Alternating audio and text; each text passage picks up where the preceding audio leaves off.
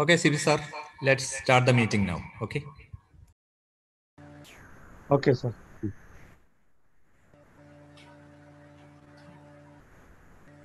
A warm good afternoon to all. Let's start today's webinar with a silent prayer.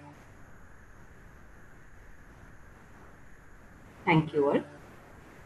Today's webinar is the third in this series of webinars organized by St. Joseph's College of Pharmacy. Our previous webinar had speakers from around the world to enlighten PharmD students and graduates on the various opportunities awaiting them. Today's webinar will further throw light on this path.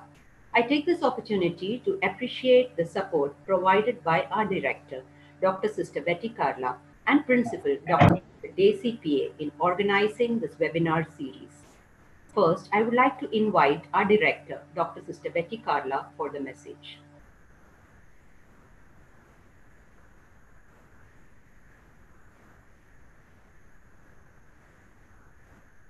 Over to you, sister. Hello. Hello. Good afternoon.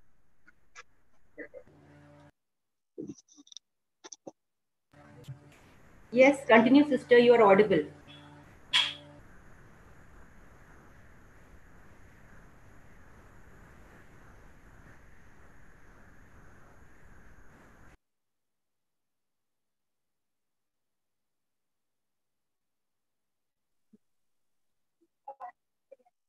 വെള്ളം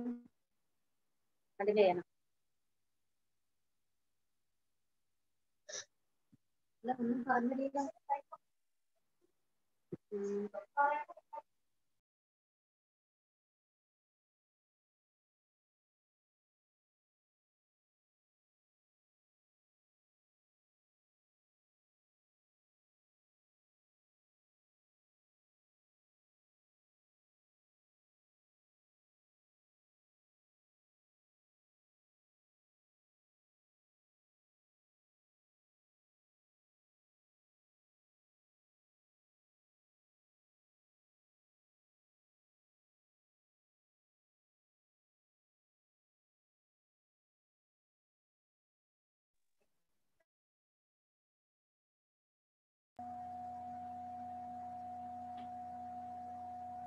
Hello, Sibi sir.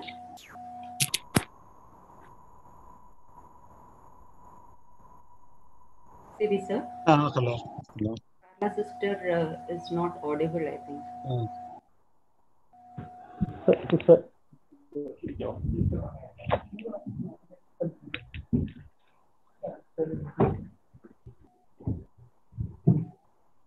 Okay, we'll wait for just two, two minutes more. Hmm. Okay, Carla sister is ready, I think. Over to you, Carla.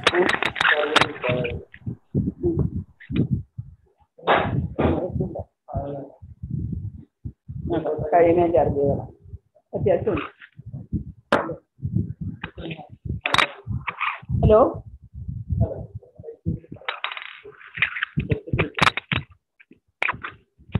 Hello കേൾക്കുന്നുണ്ടല്ലേ hello Carla sister audible ആണേ ആ okay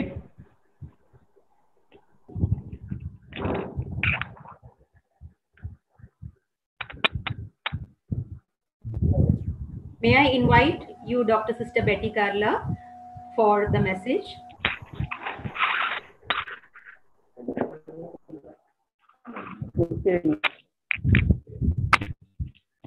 Hello. Hello. Parna sister audible ana. Hello. Hello sister yes. audible ana. Okay okay okay. Doctor sister Doctor Mohammad Hisham. Doctor Vrinda Nambudri and friends. I'm glad to introduce the St. College of Pharmacy webinar series 3 on PharmD program A Global Perspective. Today's speakers, Dr. Muhammad Hisham and Dr. Vrinda Nambudiri are young clinical pharmacists, experts in the field. Wish you good luck in your career. Dr. Hisham will enlighten us with his clinical experience in the Middle East. And Dr. Vrinda is an expert working in Amrita Hospital, Cochin, and she will explain the Indian scenario. Dear budding pharmacists attending the webinar, you can explore the opportunities for PharmD worldwide. Clinical pharmacy is an evergreen field with many opportunities, and you can flourish with your efforts and study on clinical cases. The diseases and the medication are so vivid and increasing day by day with dedication and knowledge. With your permission and blessings, I inaugurate the today's webinar. Wish you good luck, have a nice time, and praying for heavenly blessings. Thank you. Thank you, sister. Next, I would like to invite our principal, Dr. Sister Daisy PA, for a few words. Uh, good afternoon, friends. We are happy that today St. Joseph's College of Pharmacy is conducting the webinar series, out of which it is the third one. Uh, Dr. Muhammad Hisham and Dr. Vrinda Nambudri are with us to speak to our PharmD students and graduates about their experiences from Middle East as well as in India. Hope it will be very beneficial for the budding pharmacists uh, who are aspiring to be clinical pharmacists especially. So I wish all success for the program and dear graduates and students of PharmD, please take benefit of this talk by attending honestly. Wish you all the best. May God bless us all. Thank you. Thank you very much, sister. We would like to acknowledge the initiative taken by Dr. Sibi Joseph, HOD, Department of Pharmacy Practice, and the encouragement provided by all my dear colleagues to conduct this webinar. Our first session for the day will be handled by Dr. Mohammed Hisham, clinical pharmacist, Cleveland Clinic, Abu Dhabi, UAE. Mohammed Hisham is currently working as a clinical staff pharmacist at Cleveland Clinic, Abu Dhabi. Since 2016, he earned his Bachelor of Pharmacy from Amrita School of Pharmacy, Cochin, Kerala, and his Doctor of Pharmacy from KMCH College of Pharmacy, Coimbatore. Before joining Cleveland Clinic, he worked as an ICU clinical pharmacist for four years in India. Hisham is an American board certified clinical care pharmacist. He has 20 publications, including a book on general management of poisoning.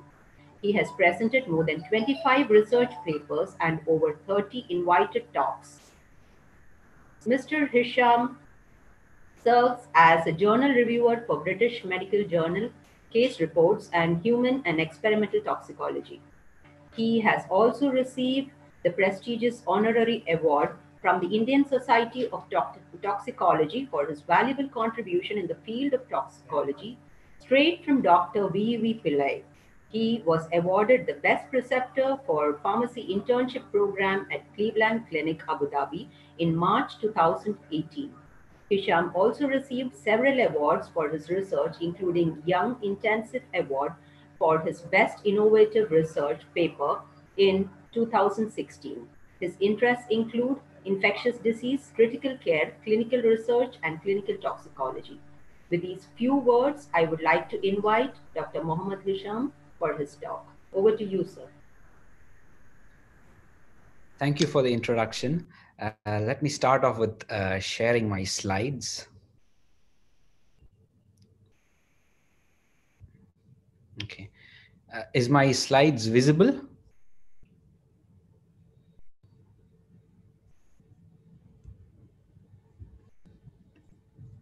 Okay, can you see my slides? Yes, sir, we can see. Perfect. So uh, first of all, I would like to thank the organizers for uh, setting up uh, this wonderful platform for the budding pharmacists and students who uh, aspire to become the future of the clinical pharmacy profession in the country. So uh, just uh, not waste time, we will be starting with the topic of discussion today. Uh, I would be sharing my experience as a clinical pharmacist and uh, the PharmD program as a whole in this country, and a couple of other things which comes along with this talk is what the is the core of the presentation. So if you have any questions, I can definitely take it at the end of the presentation, or this is my email address uh, from which you can even uh, mail me uh, asking questions or in case you need these slides you can ask me for the slides as well. All everything is available. So if you ask me for slides there are only uh, 14 slides in this. Uh, we'll be going through all it will be most of the time i would be doing the talking rather than um, the information the slides will be hyperlinks to the uh, website links which i would be discussing on.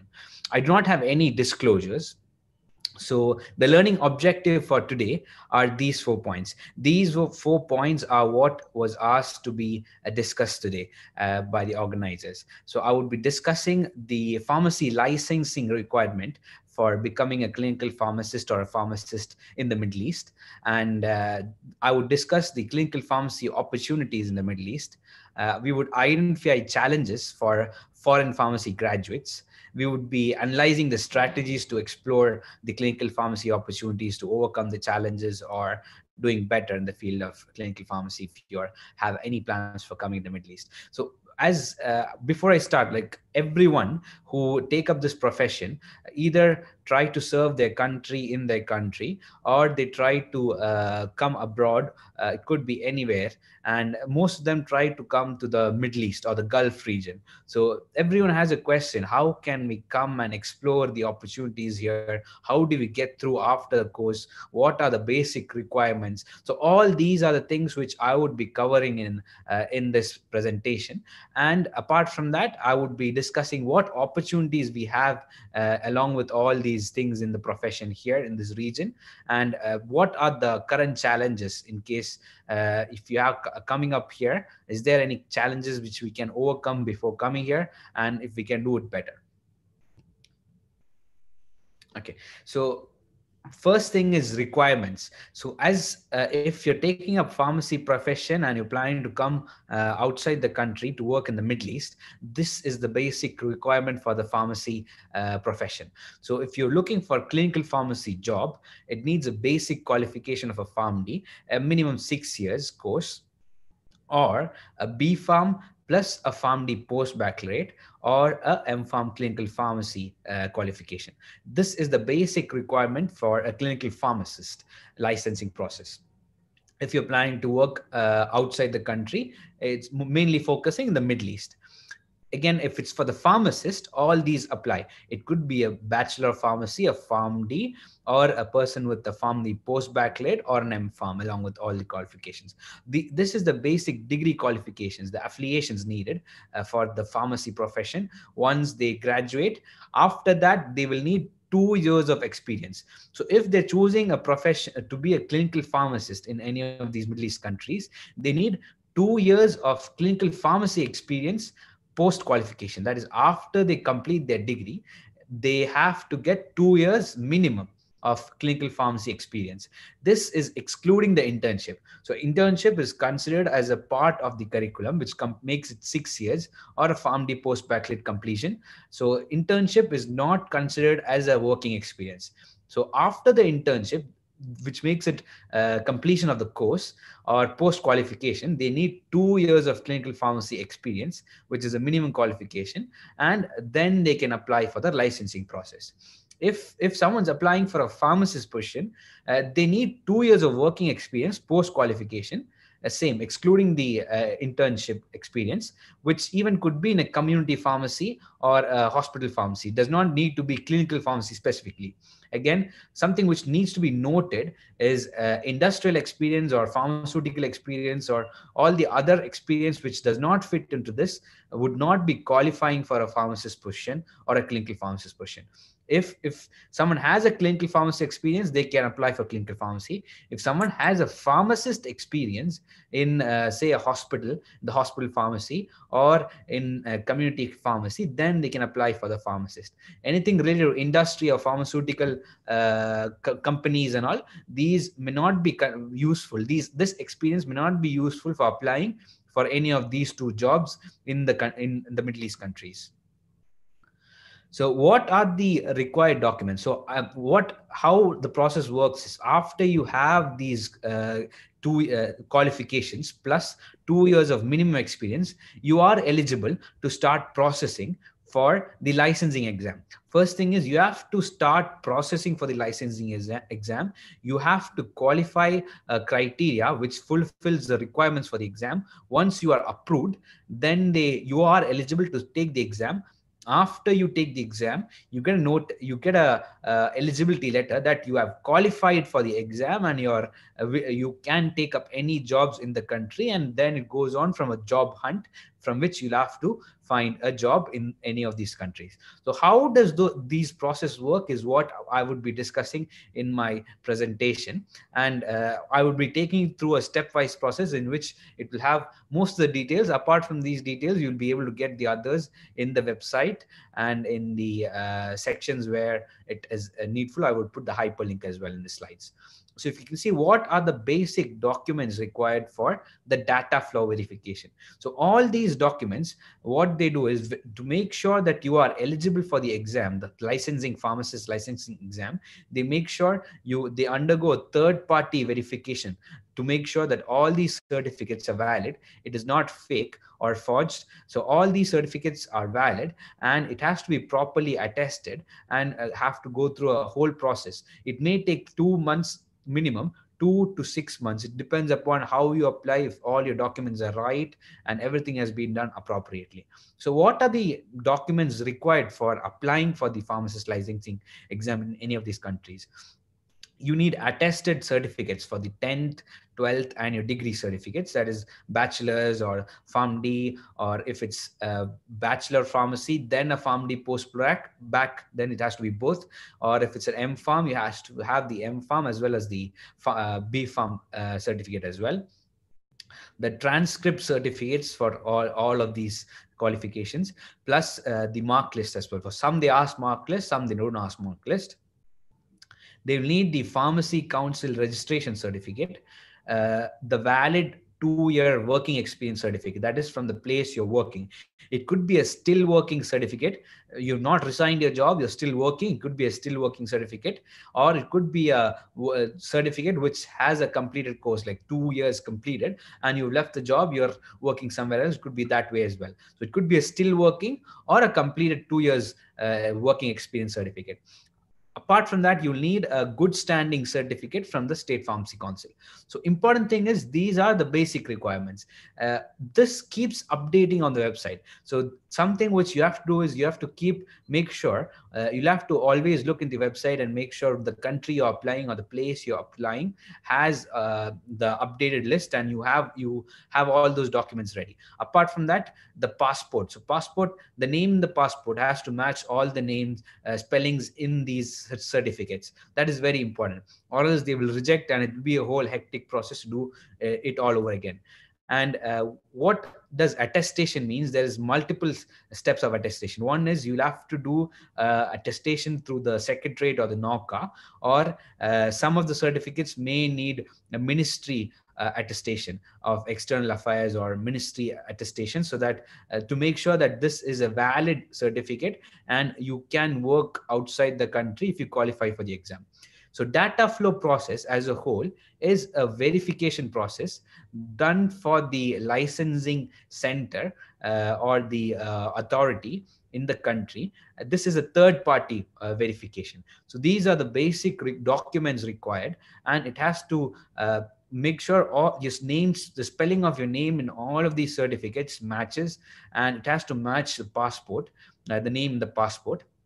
Along with that the attestation is done appropriately. So all this helps you to keep all these documents ready and it has to be done uh, scanned back and front. That is the front and the back of the documents have to be scanned and this is what is required when you apply for the data verification process. So usually what uh, what everyone does is uh, they go through agents or uh, companies in the country who do this like uh, what you call like a, uh, a company which helps you the data flow process. So some of the most common uh, com- uh, companies which do this data flow process for you to get a uh, to clear the licensing exam part in in the state of Kerala are like the most common ones are Gateway, Eurogulf. These people do it quite frequently, and they are well known people for doing this, and they do a very good job in terms of getting all those documents appropriately right and verifying it themselves and uploading it in the website.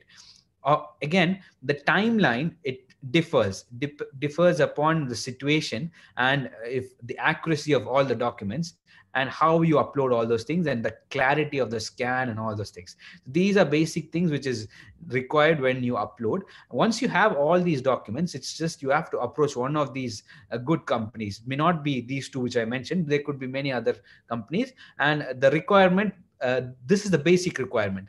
Plus or minus there may be things which uh, they will need in addition or sometimes some of the things may not be needed based on the place which you apply. Again remember what uh, the good standing certificate in this uh, as per the websites of the place you apply the validity changes. So some places it may be valid for 2 to 3 months or 6 months depending upon the place you apply. The authority the licensing authority website will have all those details. So they keep changing this based on uh, how they uh, review their profile. And uh, what they do is uh, they, they aware of how uh, what is the validity of all these uh, good standing suppose you got the good standing certificate from the council today it may be valid only for two or three months so make sure this is the last thing you apply and get from the council because some of the other things may be um, time constraining. So once everything, attestation, everything is complete, the last thing you get is the good standing certificate. This can be applied through the Pharmacy Council web, uh, website. So it can be a quick one to a Tatkal, which could be uh, you get it within a couple of days, or it comes by post in two weeks or three uh, weeks time. Uh, again, the timeline you have to check with the uh, state pharmacy council depending upon where it is. So th these are the basic requirements, documents required for applying for verification to appear for the exam. Now, coming on to exam preparation, this is something which is very uh, tedious and which is time consuming for depending upon the exam.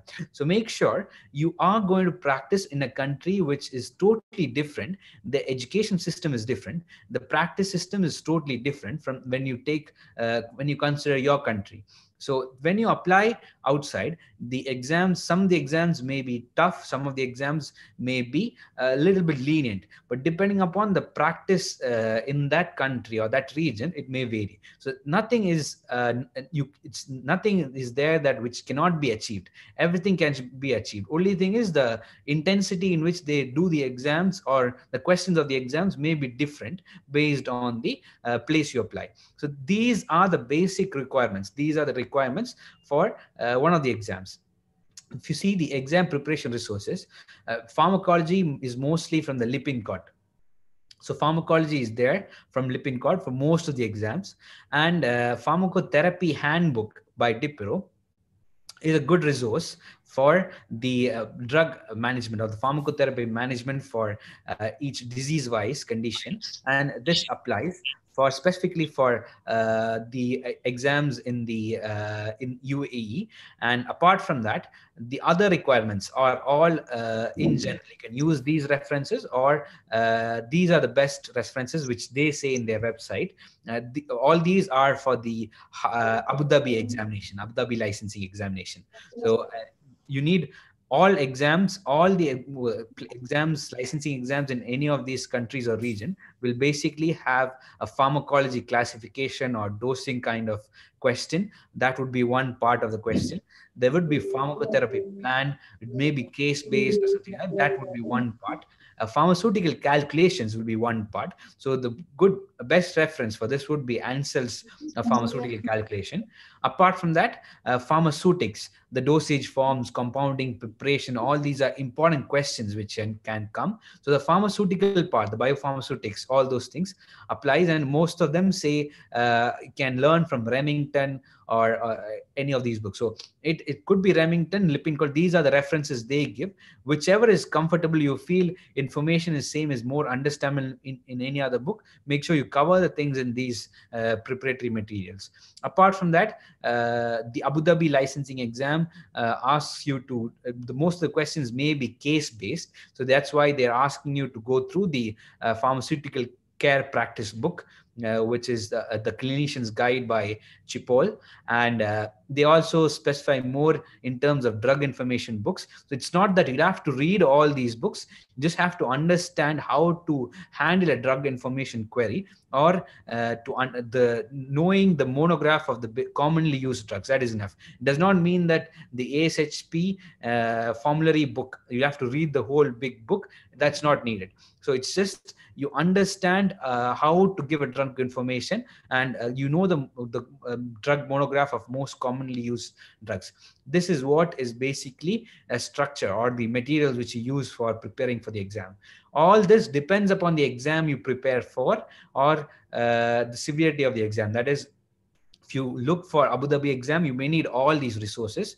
If you're looking for uh, the t- planning to take the exam in Dubai, it may be lesser than this, or the Ministry of Health exams in or the prometric exams in other countries like uh, Qatar, Oman, and all. They may need only the pharmacology, the calculation, and basic pharmaceutics. So uh, it's it, they may not have you don't- don't have to go in depth into case present uh, case based presentation. Also, all this depends upon the region. So what? Uh, so the thing is exam preparatory resources and centers are available uh, in al- almost m- most of the places in the country and in the region. So you just have to go to them.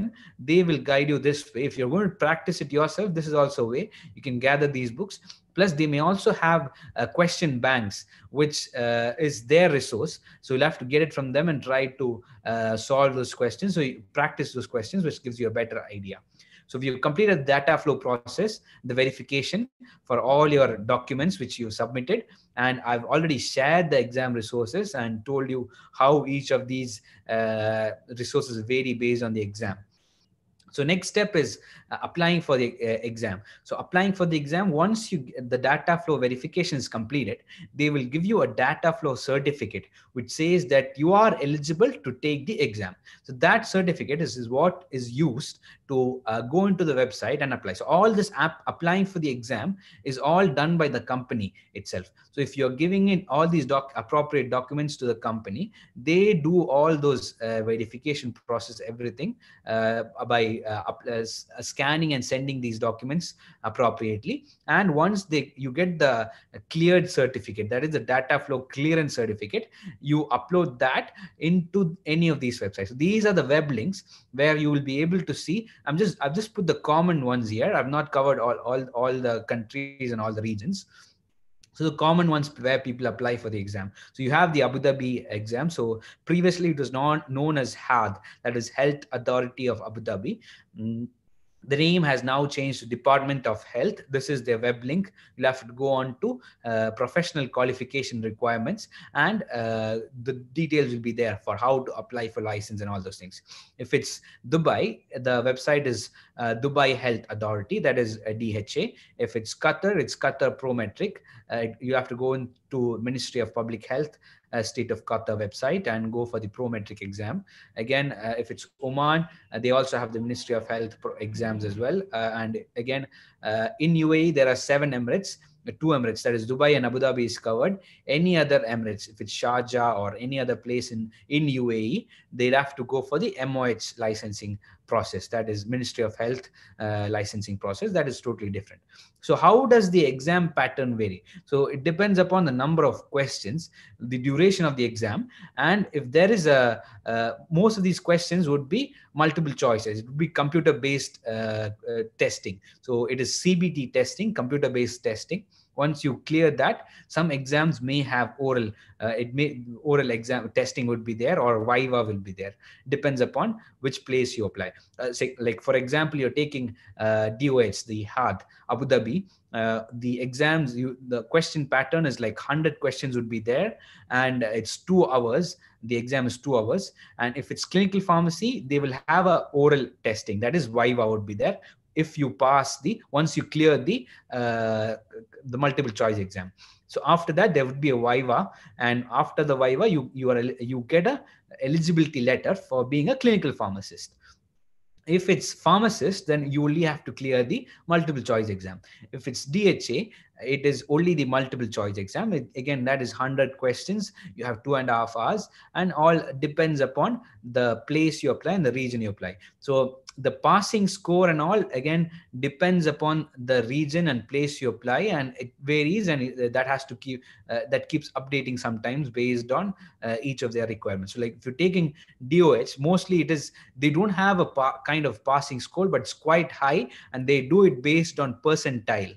And uh, the cutoff is quite high for the DOH exam.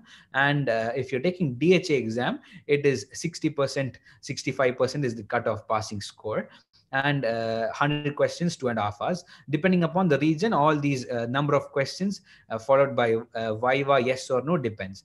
And so questions as i told you it all comes from calculations uh, the pharmaceutics biopharmaceutics and uh, pharmacotherapy classification pharmacology. All these are compounding uh, like uh, TPN calculations. All these are questions which come in the uh, based on the exam which you apply if, if it's Viva, uh, specifically for the Abu Dhabi exam, which has a Viva, they will have case-based scenarios. So that is quite uh, thing is uh, when you apply for these exams, when it's uh, when you clear the first part, the multiple choice. Next is the Viva exam. It, it is uh, usually it is in person. Now I think it's online, and you'll have to also keep updated on how the process works. So once you apply for the Viva, uh, you take the pick the dates for the exam. Uh, it has to be uh, they ask the questions they ask you is like uh, six case-based scenarios where they ask you all the details of the uh, of the case so it could be uh, identifying the risk factors of the disease condition or you have to have a picture of what the disease is they may give you clues of the disease but they not say this exactly is the disease. Suppose they won't say it is um, say heart failure. They would say these are the signs and symptoms patient came with. Or they won't say it is myocardial infarction. They will say these are the signs and symptoms patient came with. These are the findings. And what uh, what would you do? So you have to first identify the risk factors know what the disease condition or the finding is. Then you have to recommend the pharmacotherapy. And in between you'll have to also uh, go through the scoring systems like scoring system for each of uh, the disease condition may be there depending upon what pharmacotherapy you're going to start. Like suppose you're going to start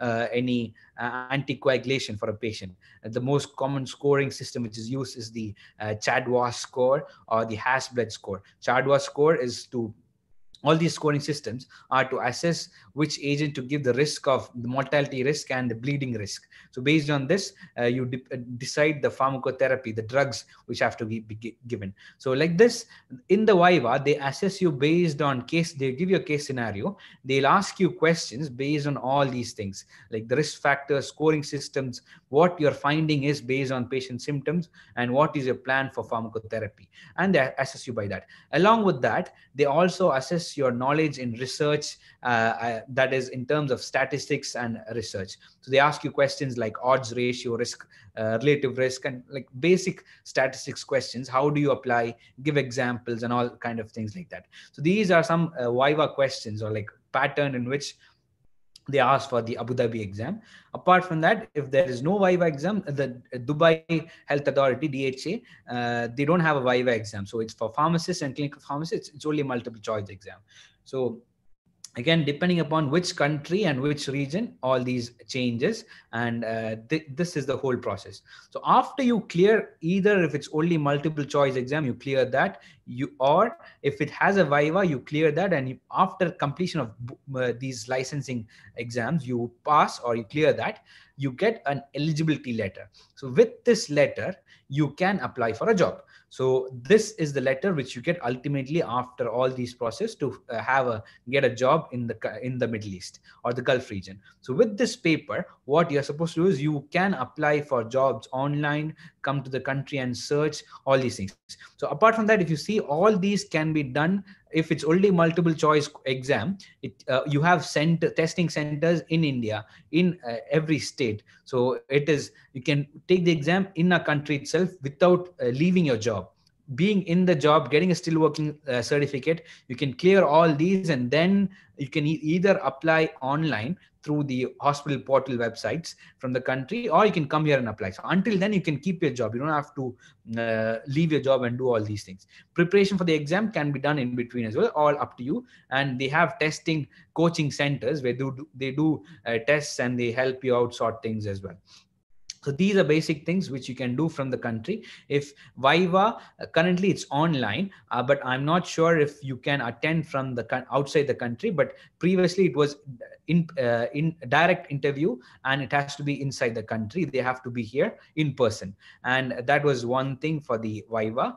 And uh, all these things keep changing. So always remember look the updated things on the website or the person who does this for you may definitely know all these details. So these are basic things. And uh, next thing is applying for a job which can definitely be done online from your country. Or if you are here in the region you can come and do that. Or you can uh, uh, do it through a you come with a visit visa you can apply a job through that. You only need the eligibility letter now because you've already cleared all those uh, remaining documents so what are the opportunities for pharmacists in the Middle East? So there are a lot of opportunities. Just how you apply for the opportunity, how you've prepared yourself for the opportunity. So it's it's not just clearing the exam and coming here. It's always clear, clearing the exam and making sure that you have the knowledge and skill to apply for the post. So when they do an interview or when they assess your uh, curriculum vitae, they, what they look at is all have you done a lot? What have you done in the profession? How eligible are you? How how do you qualify for the vacancy? So all these are things in which they look at.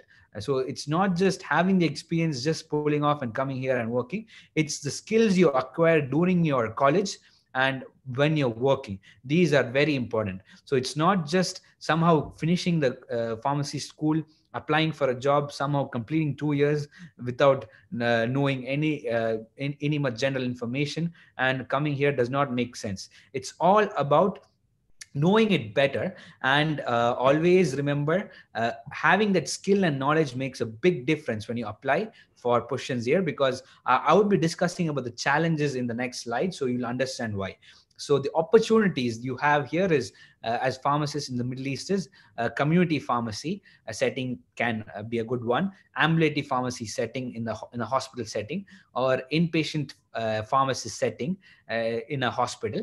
Uh, it could be a, a, clinical pharmacist in a specialty based setting or a general clinical pharmacy setting, antibiotic stewardship pharmacist which is there in some of the hospitals specifically for antibiotics. Uh, it could be uh, quality and medication safety pharmacist. They look into pharmacovigilance, patient uh, safety aspects, uh, quality in terms of accreditation and all those basic compliance. And again, as a pharmacist, you need to equip to the next level. So you'll have to have a, uh, quite some knowledge in sterile compounding and preparation. Sometimes uh, along with the other pharmacist jobs, you may have to even do compounding and preparation and that would be an additional uh, job along that or it could be a separate job where you a position where you do specifically sterile compounding and preparations like for example if you take oncology oncology chemotherapy medications are prepared in a sterile uh, way by a pharmacist. So all these are open opportunities. So how do you apply is the most important thing and how do you equip yourself to apply is the next most important thing. It's not just uh, having the knowledge and skills but always it's the attitude and multiple other factors which comes along with when you apply. So there are plenty of opportunities. Along with that there are challenges and risks as well. So how do you overcome that is what i'm going to discuss now. It's not uh, you are not the only person who's going to apply for the job here. So people from all the other foreign countries uh, in in the region will come here and apply pharmacy graduates who qualify from the country, who pass out from the country, apply here. So that's the most important part. How do you equip yourself to bring up here? Starts from pharmacy school. Uh, you equip yourself very well uh, when you practice as a clinical pharmacist and uh, then you apply i'm sure uh, all that will take you to the next level so all the the package the salary package the hospital you get all these is all customized based on the individual. So if you ask me a question what is the salary package? I can give you a wide range. It starts from this 1 to 10 but that does not make sense. All that depends upon the individual. And what job you get is also depending upon the individual. You could get a job as an ambulatory care pharmacist or community pharmacist or a clinical pharmacist in, a, in the specialty or someone who works in antibiotic stewardship. The thing is uh, if you get it or not all this depends upon the experience or the knowledge you acquired from the workplace you've uh, done before so all this matters when you apply. So coming on to a couple of things. So all these websites which i mentioned have uh, details of the PharmD program in the middle east. Uh, there are many more than this. I've just picked up few region wise and if you go on to these websites you can see the curriculum in that. So each every country have their own pharmacy colleges their their pharmacy uh, program the doctor of pharmacy program or the masters in clinical pharmacy are all very well developed. So thing is uh, so these curriculums you go onto these websites they'll have their whole course description mm, each semester wise which is classified and what all are the uh, rotations they uh, give for their students. So remember all these students pass out and they come into the uh, hunt, job hunt. So thing is for all these students who passed out from the region so for example if you're taking uh, U- uae uh, as, as a country uh, if someone who's uh, passed out from a pharmacy school uh, a PharmD program or any clinical pharmacy program they can do six months of internship and they qualify for the exam so uh, when you're coming from a foreign country uh, you have two years of experience then you qualify for exam. But a person here who uh, because why they've customized this way is because they're completing six months of internship uh, after their uh, qualification post qualification plus uh, they have the experience of a clinical working with the team during their curriculum during the internship or uh, during their course activity or all these things. This is, this is what makes them qualify for the next uh, level. And for them six months of uh, uh, internship is enough for them to apply for the exam. So basically uh, the PharmD program if you go into these you'll get more details of how and all uh, are placed in the system. And you'll be identifying the differences of how the rotations works and why only six months is enough for these in addition to these they have pharmacy residency program. So pharmacy residency program is PGY1 and they some of the places have PGY2 this is ASHP accredited pharmacy residency program. So these are things which uh, gives you more qualifications in terms of clinical practice so if you go onto these websites it gives you details of what rotations are there uh, wh- what are the exposure that uh, the resident gets uh, in detail. These uh, add up. So all these residents pharmacy graduates pass out and they're in and ready to practice along with the people from outside the country. These are the environment in which you're going to find a job so how do you equip yourself to come to this environment is the most important thing. So you'll have to just basically go through all these things to get an idea of how things work. One important question i get is can i do a pharmacy residency program uh, after i complete my PharmD or get any pharmacy qualification from india? Currently uh, all these residency program are restricted to local people uh, who are either uh, who are uh, graduating from the pharmacy colleges in the in the country. So if someone who's passed out from the country uh, from the pharmacy schools in the country they give them the opportunity to apply for residency. It depends upon the institution which they apply and the region they apply. Some of the countries or regions they only hospitals they only give for the uh, locals over there the nationals of that country. Or uh, some uh, some hospitals they give for uh, other nationals as well but they should be graduating from the uh, country itself. From uh, suppose if you're taking uae they should be graduating from uae itself. It could be national or non-national but graduating from uae so this is the difference. So if you are coming from uh, our country uh, you may not be able to apply for res- residency here because this is the criteria for them to uh, eligibility for the residency program so way forward how to overcome these are you'll have to develop your skill sets upgrade your skill sets. These are few things. So what i've added here are things apart from the knowledge you can acquire. So you'll have to have uh, development skills in research publication information information technology being more digital. Communication skills should be very good when you're approaching each of any of these um, professionals in and in you, your colleagues as well the attitude towards the profession should be very good. Leadership and administration uh, uh, you should have all those skills in as well when you come from there. Quality and patient safety aspects should be there as well in your skill sets. These are things which you'll have to develop apart from the knowledge uh, things you uh, knowledge and upgrading skills which you have to get. So these are basic things which would definitely add to uh, make you better when you apply here. Along with that if you uh, are it's an investment of doing being specialized in a, in a, a clinical pharmacy specialty. If you're completing both pharmacy uh, specialties then it's, it is an added advantage because they may prefer you based on the jobs you apply and uh, based on your qualification like what are you looking for and your background of clinical pharmacy you provide in the country and always remember knowledge and skill in applying the pharmacotherapy you've learned is very important. So these and all will add and will pick up pick you up in getting a better job a better better package in a be- good hospital when you are coming to practice. So all this will take you into the next level. So i've done with my presentation. The take home message is very simple. Uh, you you can start uh, now right away in the pharmacy school or if you are working now you can start from there itself. But always be goal oriented have a target in your mind and know your career options uh, based on the current demand. So what specialty what uh, clinical pharmacy things you have to do after you pass out should be there. And make sure updating your knowledge learning more it should be a continuous process. It should not stop after your pharmacy school or you got you got a job in your country. Okay i should stop learning. I just practice finish off those two years. Or if you're coming into the other country uh, that is middle east or gulf region your knowledge updation should also be continuing and it should be a continuous process. So that's basically the take home message which i would like to share. And thank you everyone for being patient listeners. And uh, this is my uh, email address. If you have any questions or you need the slides for the hyperlinks, I can send you the slides. And you can definitely ask me questions now, or uh, you can ask me questions uh, after the session as well through email. And uh, thank you so much for being listeners. Thank you.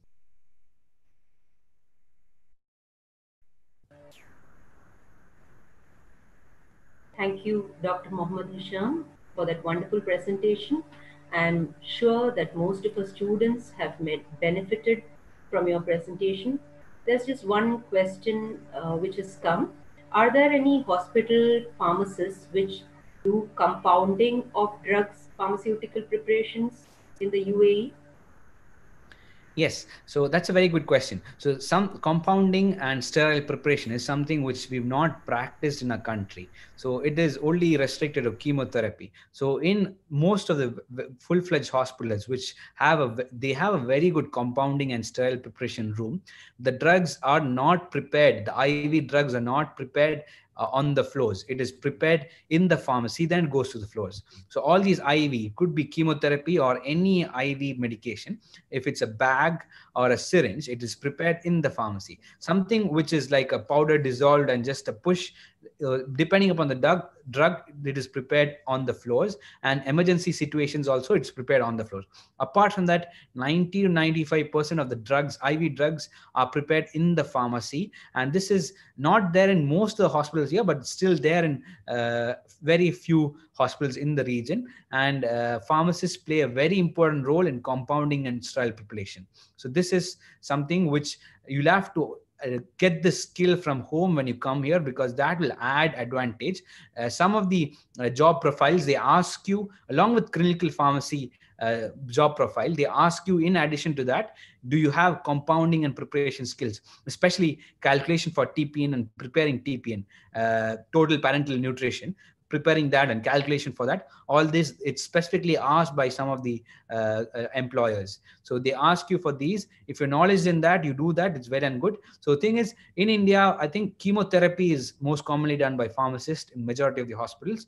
And um, apart from that uh, the uh, if you look for tpn and parenteral nutrition it's done in pediatric and neonatal icus uh, if it is not pre-mixed. And uh, apart from that all the other medications are done bedside by the nurse. But here in a few hospitals uh, like you take 25 to 30 percent of the hospitals which are very good and which have very good clinical pharmacy services they have this comp- sterile compounding and preparation in the pharmacy itself. So this has been overdone overlooked and done by pharmacists.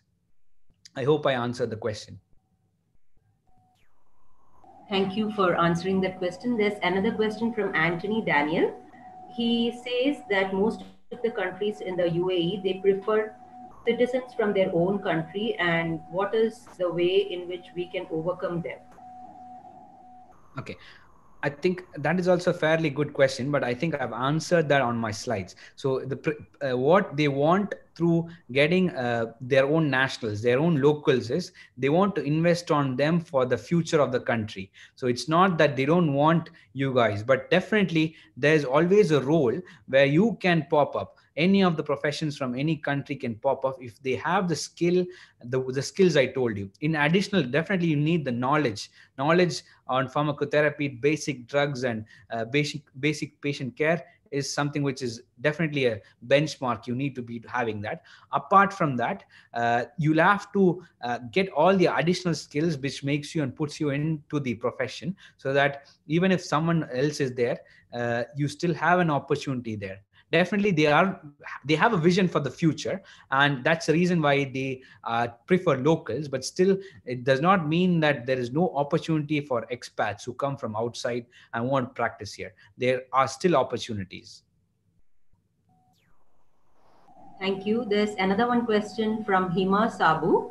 She says can we work as trained pharmacists for two years in the uae after the graduation from india and get the exams cleared after that Okay, so this is something which is a good question, which is raised by multiple of them even before this webinar. So this question, as you asked me, trainee pharmacist. So trainee pharmacist, there's something uh, behind that as well. So when you apply for a trainee pharmacist job, it would be definitely a pharmacist job and that would be it's like a pharmacy technician job where you do all those things uh, like uh, what do you call stockpiling uh, all so it, there won't be anything most of the time there won't be anything related to uh, what you call uh, direct patient care. But some some depending upon the hospital and place some of them offer very good direct patient care. They give you opportunity to approach. As per the laws here only if you have a license you can approach a patient or you can give direct patient care. Without that they may not be allowing you to give a license. Again depending upon the facility you apply they may have some rules and restrictions in that. In assistance with a pharmacist who has license you can do a trainee pharmacist. The, something which is there behind the trainee pharmacist is two things. One is either you get two years of very good experience from your country and come here that would definitely make a big difference in the job you apply or uh, the package you get or the hospital you apply or the, the what do you call the dream job you want to get in this country. Second is being a farm, trainee pharmacist here does not mean that it's the end of the road. Uh, being a trainee pharmacist here would definitely fetch your job but it may not be fetching your job which you dreamt of or a salary package which you dreamt of. Because when you are as a trainee pharmacist you have a lot of restrictions and uh, you bulk of the job would be kind of a technician job where you're trying to get the medications from the shelf and that is also a pharmacist job but uh, thing is uh, that would be the majority of the job. That would not add to your clinical experience or when you come to the pool of job hunt you may not be a different person from the others so they prefer others who have very good experience and good exposure from that. That is the only thing behind the trainee pharmacist and getting experience from the country. That is an option where you can apply. Some of them, uh, they give you license to practice after that, depending, all this depends upon the facilities. Make sure you read the norms and uh, properly the documents which, which they give you before you apply for the trainee pharmacist job. Thank you, sir. Uh, we do not see any more questions here. I'm sure that has surely benefit the, benefited the students. It's nice hearing from you. Thank you once again. Thank For the next session, I would like to invite Mr. Naveen Panikar Associate Professor, Department of Pharmacy Practice, to take over. Over to Naveen, sir. Okay, thank you, ma'am. Thank you, Jenny, ma'am. Thank you, Dr. Hisham. It was nice hearing from you. Now, good evening, all. We are in the third part of the webinar series being conducted by St. Joseph College of Pharmacy. Uh, I'm sure you would have all benefited from all the talks that you have heard throughout the series. Uh, I would like to add that we have few more talks coming in the next few days. So please do join us and I'm sure you will get benefited from it, right? So now continuing with our today's program, uh, I would like to introduce with great pride the next speaker, Dr. Vrinda Nambudiri from Amrita Institute of Medical Sciences, Kochi. Now a brief about her. She is a clinical research pharmacist in an ESRC, that is the Economic and Social Research Council funded project uh, in collaboration with Imperial College London. She also plays an important role in the antibiotic stewardship program at Amrita. She is the recipient of Bill and Melinda Gates Young Investigator Award for the research selected at 19th International Congress on Infectious Diseases. She was also awarded a travel grant by London School of Hygiene and Tropical Medicine to attend the symposium conducted in London in 2018. She has been invited for many talks in different institutions. She has a number of presentations and publications to her name. She has attended many prestigious conferences and workshops. And in fact, recently she was in Cape Town, South Africa for a symposium.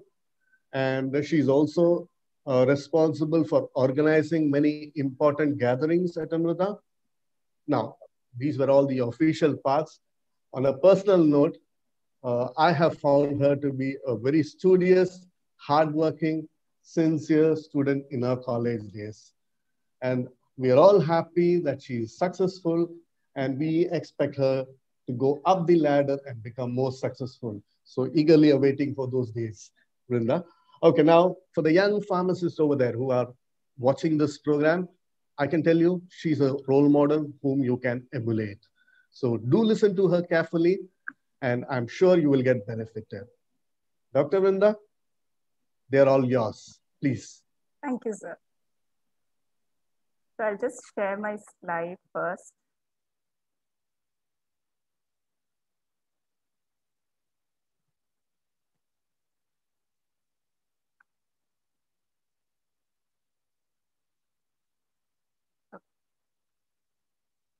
So, uh, good evening to one and all. Uh, so, this is the second time that I've been uh, invited to uh, St. Joseph College of Pharmacy to speak to the students.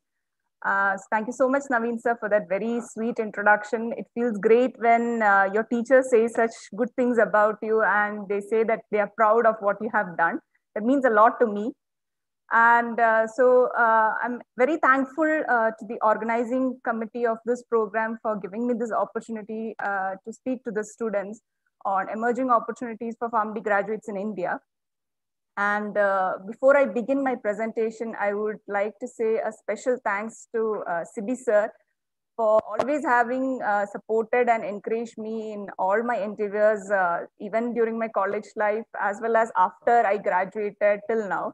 Thank you so much, sir, and to all the teachers uh, in the College of, uh, in St. Joseph's College for giving me this opportunity. So all of you, I mean, many of you would be at that juncture in your uh, student life where you are a bit confused about what career option you want to choose after you have graduated and completed uh, the PharmD program. And I would like to appreciate uh, the organizers of this webinar series giving an opportunity to the uh, students to explore what are the different career opportunities across the world and for having invited eminent speakers from different parts of the world to speak to the students. So uh, mostly by the time you uh, get towards the end of your course, the first question that you have is whether you want to stay within India or you want to move abroad. So uh, either for your uh, stud, uh, higher studies or to take up a job in these countries. So if you decide to go abroad from what I have seen, these are the uh, major areas or major countries that uh, PharmD graduates generally choose. And you have already listened to uh, very eminent speakers from many of these countries who spoke before me regarding the opportunities in these countries. So the focus of uh, my presentation today would be to discuss about uh, few emerging uh, career opportunities for PharmD graduates and my focus would be in India. And so basically I would be uh, discussing uh, uh, or rather just sharing my experience uh, of working as a clinical pharmacist in India. So as many of you know, uh, the PharmD program was introduced in India in the year 2008 and in 2010 it was introduced in Kerala. So right now we are in 2020. So it's almost 10 years or a decade have passed since the PharmD program was introduced in Kerala. So has anything changed, right, from 2010 to 2020 in the span of 10 years? Has anything changed uh, with regards to the recognition that the clinical pharmacists get in Kerala, the job opportunities, etc. So I feel that that's my personal opinion that I'm saying that it has definitely changed because I was a student of the uh, first batch of PharmD in Kerala. So when I joined this uh, program in 20, uh, 2010, not many people, even in the uh, medical field, knew about the PharmD program or what the job of a clinical pharmacist would be. From that to now, many of the doctors are uh, well aware about this program and the responsibilities that can be handled by a clinical pharmacist. And it is uh, very interesting to note that many of the doctors are actually demanding the presence of a clinical pharmacist in their team and which because of which many uh, PharmD graduates are getting opportunities within Kerala itself. So if, uh, so to talk about the uh, broad areas of interest for PharmD graduates uh, within India, the basic uh, areas would include a clinical pharmacy, industry, research, and academia. So the uh, speakers before me have already covered some of these areas. So I'll be focusing uh, more about some of the emerging opportunities in uh, clinical pharmacy and uh, in research. So if you decide to take up a career in uh, clinical pharmacy, these are some of the uh, common uh, departments that employ clinical pharmacists. It's not restricted to this list. Definitely it is not restricted to this.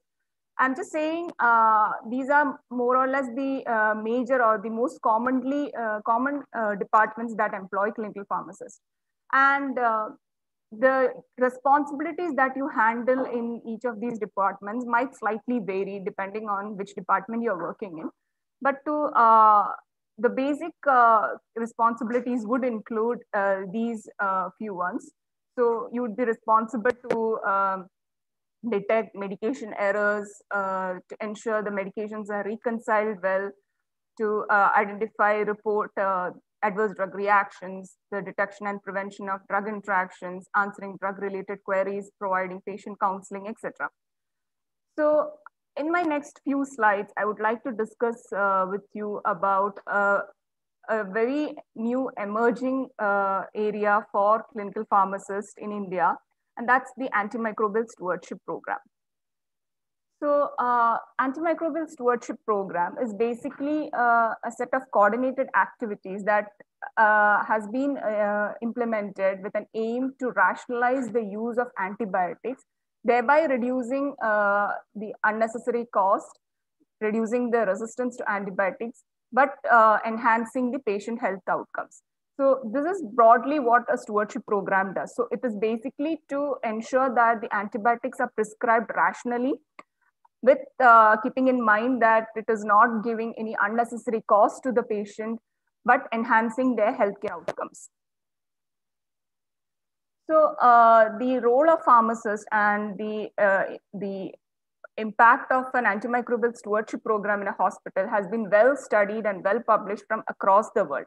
So I have taken just a few publications here that show uh, the role of pharmacists in a stewardship program.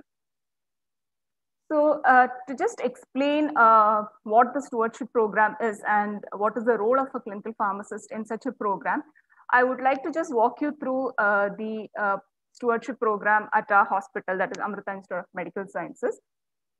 So the antibiotic stewardship program in the hospital was uh, implemented in uh, February 2016. So right from its inception, uh, there was a involvement from uh, the clinical pharmacist, as well as there was well-defined responsibilities and role for a clinical pharmacist. So I started my career as a clinical pharmacist in the antimicrobial stewardship program at Amrita. So this is just giving you a snapshot of the daily workflow of the stewardship program here. So if you can see, the clinical pharmacists are the key drivers of this program. So they play a very, very important role right from uh, collecting the details of patients on reserved antimicrobials to evaluating uh, each prescription to assess if it is appropriate, to discuss these uh, with the uh, doctors in the stewardship team, to uh, to communicate the recommendations from the stewardship team to the uh, primary team of the patient, to follow up these recommendations to see if the recommendations have been complied by the primary team, and to monitor the patient until discharge to uh, see if there are any opportunities for uh, de-escalation or escalation of therapy. So the uh, stewardship program has evolved over these last few years. And this evolving profile of uh, the stewardship program has also given more and more opportunities to uh, clinical pharmacists and has uh, employed many more clinical pharmacists in the program. So when the stewardship program started, I was the only pharmacist who was employed in, in this program. But I'm very proud to say that uh, right now we have about uh, five clinical pharmacists uh, who are working either fully or are involved in one or two projects related to stewardship in our team. So right now, uh, so even though the stewardship program at Amrita uh, started as an antibiotic stewardship program by just reviewing the appropriateness of uh, three reserved antimicrobials, it evolved over time to initiate an antifungal stewardship, an antitubercular stewardship, a separate pediatric stewardship. In addition to uh, giving clinical responsibilities uh, to the pharmacists, they were also exposed to uh, various research activities. So some of these research activities were uh, in-hospital quality improvement initiatives, while some were uh, in collaboration with various national and international institutions. And in addition to working in research projects, the uh, the clinical pharmacist and the team were also encouraged to write research proposals, to uh, contribute to research publications, as well as to present their work at various national and international conferences. So to talk in a nutshell about uh, what the role of a clinical pharmacist is in a stewardship program, I would say it is a leadership role by sharing accountability, the promotion of optimal antimicrobial use to decrease the unintended consequences of antimicrobial use and to maximize the patient outcomes. Coming to the responsibilities that are handled by clinical pharmacists in a stewardship program, uh, as I mentioned in one of the previous slides, uh, the stewardship program basically aims to rationalize the use of antibiotics in the hospital. So you all have learned uh, what is rational drug use. So it is giving the right drug to the right patient at the right dose frequency for the right duration of time. So the same principle applies to a stewardship program as well. So the first responsibility of a clinical pharmacist is to ensure that the uh, selected antibiotic is the appropriate one for the patient that depends upon uh, what is the focus of infection or where the infection is for that patient. Uh, the drug availability. Sometimes what uh, you need to prescribe might not be available in your hospital. So you need to make sure that the drug is available or what would be the best possible uh, alternative uh, to the recommended drug. So these are some of the uh, responsibilities that needs to be handled by a pharmacist. The next is individualized dosing. I think many of you have been trained in uh, dosage calculations as a part of your clinical postings. So when you uh, prescribe a dose for a patient, you need to make sure that it is adjusted based on the patient's age, body weight. It could be the organ function, especially when you're giving hepatotoxic or nephrotoxic drugs, etc. The next is IV to oral conversion. So to see if there are any opportunities to change a parenteral uh, formulation to an oral formulation. So I think this is again something that you all are doing and I don't need to go much into detail here. The next is uh, de-escalation, escalation and stopping of antibiotics. So for example, uh, especially sometimes uh, the doctors prescribe antibiotics empirically. So in those cases, they do not have a culture report to guide the antibiotic selection, but instead they would be choosing an antibiotic uh, that could be based on an institutional guideline or the antibiogram in the hospital, etc. And before they administer the antibiotic to the patient, they would have sent a culture uh, uh, to the microbiology lab. At times, what happens is that the doctors tend to forget that they have sent a culture, and uh, in that case, uh, they miss to follow up on the culture reports. So in those cases, the antibiotics would be con con uh, continued unnecessarily for a prolonged time. So there, as a pharmacist, what you can do is vigilantly monitor uh, once the culture has been sent, make sure that you follow up the culture reports to ensure that the given antibiotic is the correct one for the patient. So sometimes what happens is that uh, you might have started the patient on uh, piptas, that is piperacillin tazobactam, but your uh, culture report shows a multi-drug resistant organism which would be sensitive only to say meropenem or colistin. In those cases, you would have to escalate the antibiotic to those higher antibiotics. So you can suggest that. At times, you might have started the patient on a meropenem, but the culture report shows that uh, it is uh, sensitive to lower antibiotics like uh, your Magnex or Piptas. And in those cases, what you need to do is you need to de-escalate the therapy if the patient uh, is clinically stable. So these are some uh, responsibilities that uh, where the pharmacists pay, play a very key role. The next is uh, doing clinical and economic analysis of uh, the stewardship program. So as a part of the stewardship program, you're collecting large amount of data. And uh, as a pharmacist, it is very important that you analyze this data to see uh, what are the outcomes of your stewardship program. So uh, the economic outcomes uh, would include, uh, you can either do a you know, cost analysis like a cost benefit or a cost minimization analysis to see after the implementation of the stewardship program in your hospital, has there been any benefit to the patient? or um, you can do simple cost calculation by just looking at the cost of the antimicrobial look at the consumption of antibiotics before the stewardship program was implemented and look at the consumption after the stewardship program and see if there has been any decrease so if there has been a decrease in the antimicrobial consumption it definitely means that you have uh, reduced unnecessary cost for the patient so you can do those kinds of analysis and see the outcomes of a stewardship program if you look at the clinical outcomes, you can look into the clinical failures or the clinical cure rates after you have uh, made an intervention to the patient. So these are some of the broad responsibilities that uh, the clinical pharmacist in a stewardship program does. Uh, so all these responsible responsibilities are done by the clinical pharmacist in our team. But in addition to that, they have taken up a lot of initiatives apart from their uh, routine clinical work. So the pharmacists in our program are uh, very much involved in the preparation of dosing guidelines for uh, reserved antimicrobials in the hospital. This is another initiative that uh, they have uh, they have uh, come up with. Um, so the hospital did have a nearly updated antibiogram, uh, but it was not a department and a body fluid specific one. So the clinical pharmacist in the team took the initiative to do a department as well as a body fluid specific antibiogram, and they have been uh, uh, they have been leading this initiative since the last two years.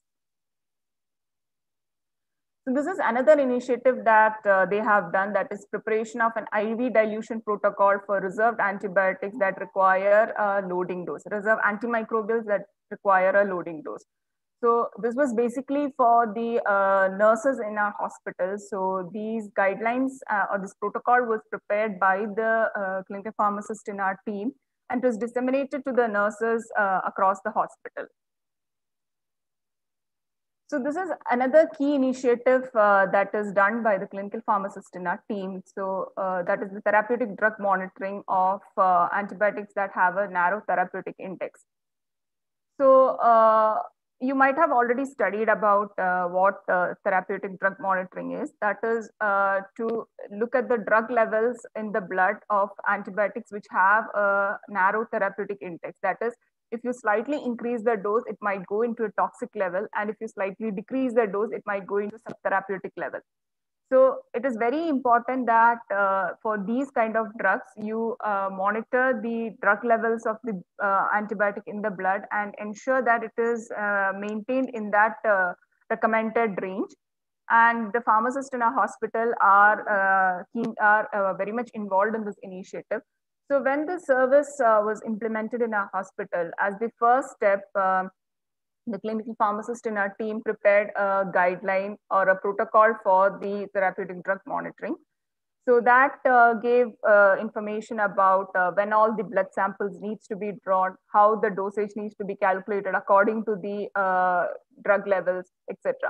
In addition to that, currently they are also uh, in charge, of, they also monitor all the patients across the hospital who are on these antibiotics these narrow therapeutic uh, index antibiotics and make sure that uh, the drug levels, uh, the blood samples are sent to, uh, to, check the drug levels, as well as the um, dose administered is adequate as per the drug level. So the uh, we have also uh, gradually start started implementing a diagnostic stewardship program in our hospital. So we are still in the initial steps. And as a uh, first initiative, uh, we have uh, tried to modify the uh, microbiology culture sending form. So this is the this is the form that is sent along with the culture specimen to the microbiology lab. So we modified the form to include a section to give what was the indication for sending uh, the, uh, the, the culture sample. So this was an initiative which we did quite recently. And we are also auditing the compliance to this form to see what are the uh, common indications for which you sent a blood culture, whether it was a, a rational decision to do that or whether it was inappropriate. And that is done for different uh, specimens. So we are still in the initial stages and uh, so it's quite a new intervention that we uh, have implemented in our hospital. So in these uh, past few slides, what I have tried to show you is that the um, pharmacist in our team did not actually stick on to just the uh, clinical responsibilities that they were given. They tried to explore uh, various other options in which they can expand their uh, knowledge as well as uh, create a better recognition for them in the hospital. So uh, these were some of these examples uh, that have been initiated by the pharmacist in our program. And as I mentioned in one of my uh, previous slides, the uh, pharmacists here are also exposed to a lot of research activities and uh, they are encouraged to get involved in research projects as well as uh, write research publications, research grants, etc. So in the next few slides, I'll be talking about having a career in research in a clinical setting after a PharmD program. So as I mentioned, I started off my career as a clinical pharmacist in the stewardship program. So uh, initially when I started, one of the major challenges that I faced was uh, understanding what was understanding the prescribing behavior or the prescribing pattern of certain departments in the hospital. And it was all the more difficult to uh, make them comply to the uh, recommendations that the stewardship team is giving. And it was always uh, I it was already always a bit uh. I was always a bit puzzled to see how do they decide which antibiotic to give because I was not able to get a rational judgment there. So that is uh, when I met a PhD scholar uh, from Imperial College in London who I would say literally changed my career path because uh, when I interacted with her, uh, she talked extensively about qualitative research that was very new to me because I was not uh, very much aware about qualitative research. And unfortunately, qualitative research is not given much importance in our curriculum also. So she spoke about how qualitative research is done, how it is used in healthcare settings, and it was very interesting and fascinating for me. And one catchphrase uh, that she said, and that still stays with me, is that qualitative research enables a researcher to explore why do people behave the way they do and that was exactly what I wanted to know. Why do these doctors prescribe this antibiotic the way they do? So uh, I really got fascinated and interested in qualitative research. And I started uh, reading up uh, about qualitative research through various publications from different parts of the world. So I've just given a few examples of uh, qualitative research in antibiotic stewardship related projects. And I was very surprised to see that in the, in other countries, qualitative research is done so extensively, and uh, there are and uh, it, it, was very fascinating to know that uh, know the results that a qualitative research uh, uh, brings out. Because that that was very different from what you get from a quantitative research. Because it is look it will look at the behavioral aspect of the study participants and uh, why do they do the way they do etc and that was very interesting for me so uh, after about uh, one and a half years of working fully in the antibiotic stewardship program, I got an opportunity to work uh, in an economic and social research uh, council in UK funded uh, social science project. Uh, it was called the Aspires project. This project is led by Imperial College in London in collaboration with various renowned institutions from across the world.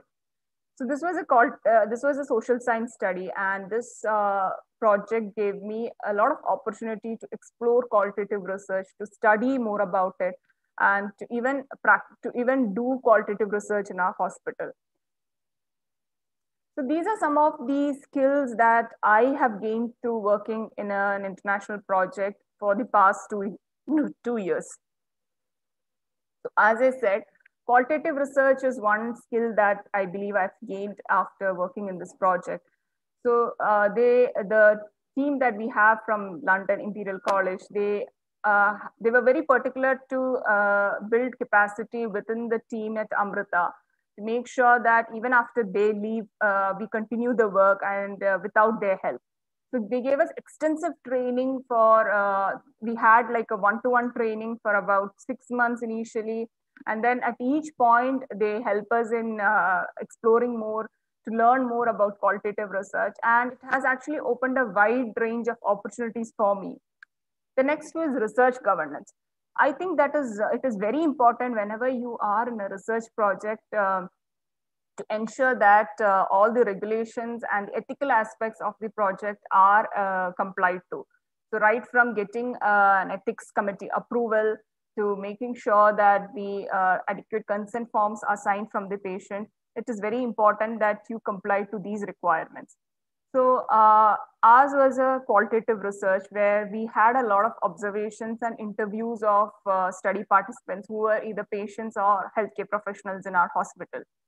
So the our supervisors from uh, Imperial College they were very particular that uh, we comply to all the recommended uh, all the recommended uh, regulatory guidelines and make sure that uh, the participants who are invited to this project uh, come on a voluntary basis and the information that we gather are stored anonymously and we don't share it with any third party without the patient's approval so even if we collect patient data, even if uh, we share it with the team in London, we completely anonymize it. So if you see our Excel sheets, you won't see an MRD number or a patient's age or sex.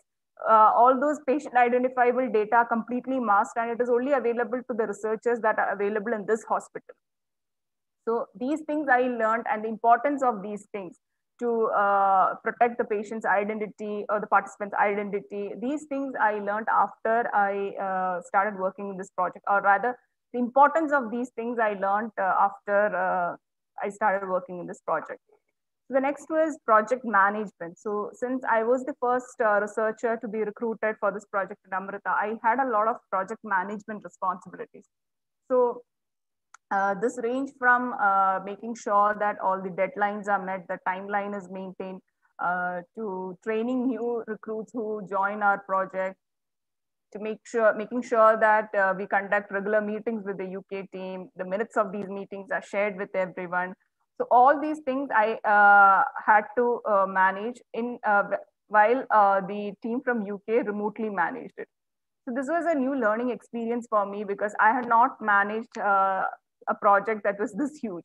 So I didn't do it alone, uh, but a lot of management skills I could gather after working in this project. The next was uh, presenting research works. So uh, the Aspires project that I'm, and the, that I'm working on had a great focus on capacity building, and uh, they spent uh, extensive amount of time in training uh, the researchers at Amrita to uh, to develop skills in presentation as well as in writing uh, research uh, works. So these are two uh, areas that have improved a lot for me after working in this project. So uh, for presentation, uh, they give you training about how to prepare the slides, right from the font that you choose, the font style, font size, the colors that you use, how to use uh, diagrams, how many points that you need to include in a slide, to uh, making sure that uh, you don't add unnecessary pictures to your uh, slide without the right uh, copyright or with the, without the right permissions from the publisher all these things uh, they were very particular about and they make sure that we comply to these and that has given me a lot of training in addition to that research writing and publication was a skill that i would say i literally developed after i got into this project because I was a person who is more uh, who is more interested in speaking rather than writing. I would say. So uh, uh, my HOD, uh, the HOD of pharmacy practice uh, at Amrita, uh, while I was studying, Emmanuel sir, he used to say that whatever is not documented is equivalent to not being done. And I think that in a research field, that is very important because there are so many research works happening across the world. And unless and until you publish your work you don't get recognition for what you did. And uh, it is very important that whatever little you do make sure that you try and publish it in good journals and uh, reputed journals. So you don't need to cook up data and uh, uh just for the sake of getting a publication you don't need to publish it. Make sure that the project that you do is uh, valid and uh, the findings are valid and then publish it in a reputed journal. So these things, uh, these skills are what I gained after working in this project. So these are some uh, collaborations that uh, we have with different universities from across the world. Uh, so this is just uh, the collaborations that we have in our department. There are many more happening in other departments in the hospital. So what I would like to highlight here is that each of these projects, they have a different aim, they have a different uh, research question, uh, although most of it uh, are around infection control and antimicrobial stewardship program. So the training that you get in each of these projects will also differ. So some uh, research projects, uh, they focus more on uh, developing data collection skills or data analysis skills in their research uh, researchers. Some like our project, they also do a lot of capacity building in us to also present our work, to publish our work, etc. So depending on which research project you join, what you gain will also change. So to just summarize, uh, these are some of the skills that I think uh, is needed if you are planning a career in a research field. So one is definitely a passion to learn because uh, the research project that you work in may not be uh, dealing with something that you have already learned. For example, in my case, I was uh, uh I I'm doing a project in qualitative research, something which I had never learned before.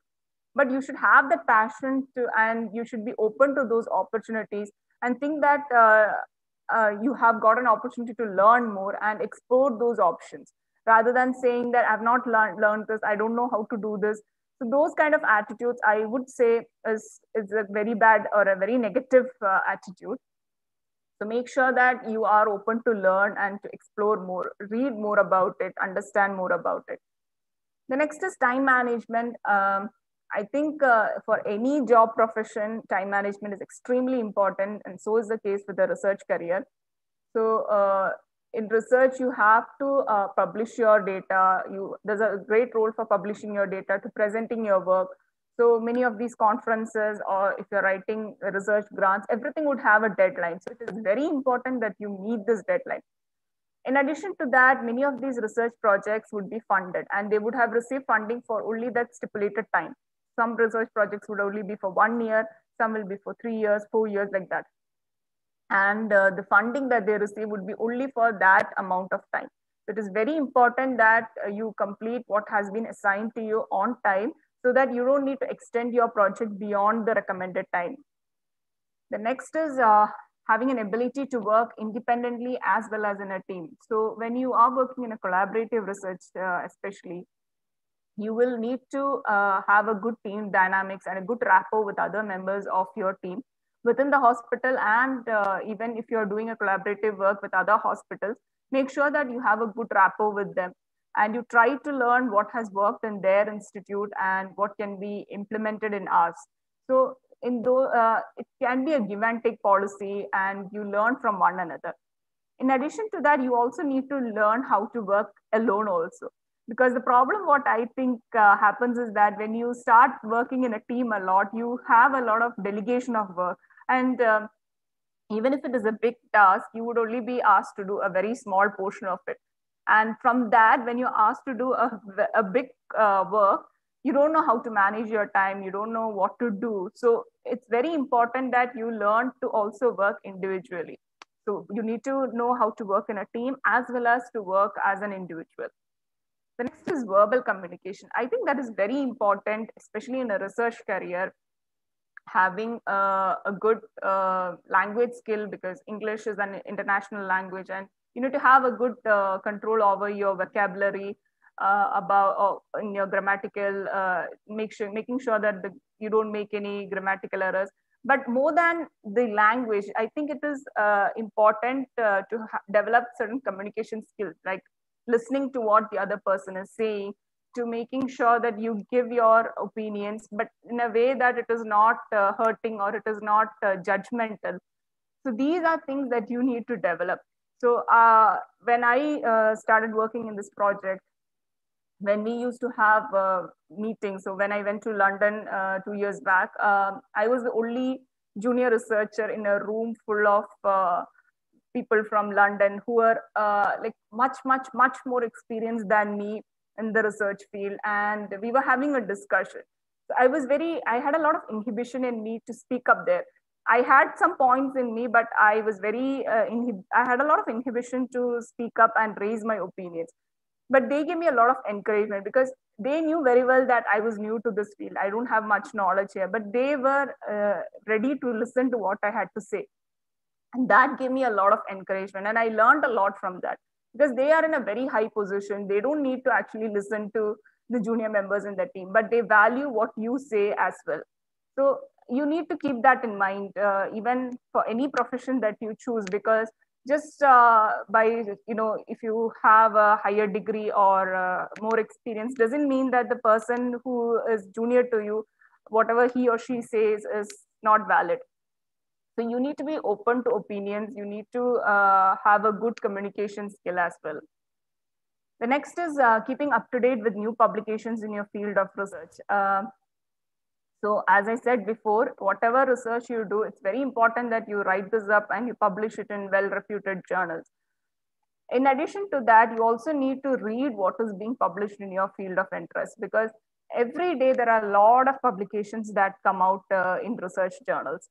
So you need to make sure that uh, you are up to date with these uh, publications to ensure that you are not repeating or you're not writing or copying the same uh, what do you say same project here. Because uh, in uh, in a research field what i have understood is that uh, the, the novelty always matters because the first person who does it gets a lot of credibility. And uh, you might be able to publish whatever you do in a research journal but the access that uh, work gets it's always the first person gets a lot of access.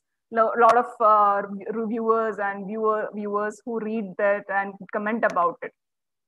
So uh, after you are doing something in your hospital uh, that has already been done in so many other places people might read your work and say okay this is nothing different. So if, even if you read many of the research publications you will see in their discussion part that to the best of our knowledge this is the first kind of publication in our area. So there should be something unique that you do. It could be that uh, in your setting this is the first time that you that is novel. So suppose uh, when we published our stewardship work nobody in india had published that before that so it was a novel work even though the uh, stewardship program was well established in other countries. So you need to make sure that you read and understand the other publications. In addition to that when you are writing research works you will you'll know that you need to cite a few papers in your discussion section or your introduction section. So uh, keeping a, a, database of these research articles help you to do that as well. So for this, um, I like uh, the Twitter social media profile. Uh, so if you follow the right people there, uh, the right researchers uh, who are from your uh, area of interest, or um, there are a lot of organizations like uh, the, the European Congress of Infectious Diseases or the International Society of Infectious Diseases. So they publish a lot of papers. they give you the links of new publications. They put up their call for abstracts or their call for research funding opportunities. So I find Twitter a lot uh, useful in that aspect. So the next is writing skill. I think I've already spoken about that uh, in my previous slides. So if you are interested in a research career, another opportunity that you have is doing a PhD. So I started doing a part-time PhD along with the Aspires project. Uh, it has been almost uh, three years now. So if you are thinking about a PhD after a PharmD, uh, you need to uh, keep a few things in mind. So definitely doing a PhD uh, will give a good blend of clinical knowledge and biomedical research skills. So again, as I said, for as a skill for research activities, you need to have a passion to learn more. I think for a PhD, this is more important because you are going to invest a long time in this work. So it can range anywhere from three to six years to complete your PhD, depending on whether you are doing a part-time or a full-time PhD. And uh, you need to have that drive and that passion to learn to complete this duration. Because uh, at times what I see is that uh, with other researchers, and at times even I feel that because halfway through your research, you feel that, oh, I have not reached anywhere, there are, there's a long way to go but you need to keep uh, keep up that interest in that uh, research project and read more about it. Create your own drive to take it forward.